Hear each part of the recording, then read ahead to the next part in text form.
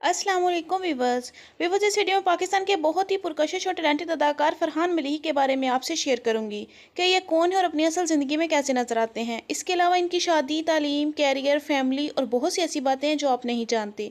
तो अगर आप ये सारी बातें जानना चाहते हैं तो आपसे है रिक्वेस्ट वीडियो पूरी देखिए, लेकिन उससे पहले है छोटी सी रिक्वेस्ट। क्या मेरे चैनल को सब्सक्राइब कर लें और बेलाइकन को कर लें प्रेस?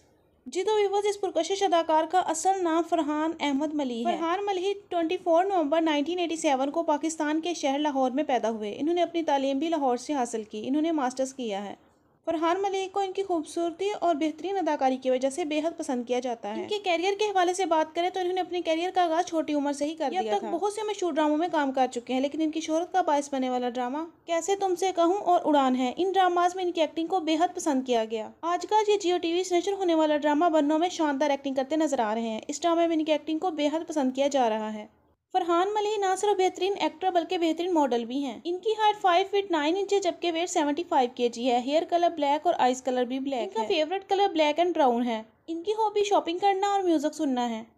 फरहान मलिह की फैमिली के हवाले से बात करें तो ये वेल एजुकेटेड फैमिली से ताल्लुक़ रखते हैं।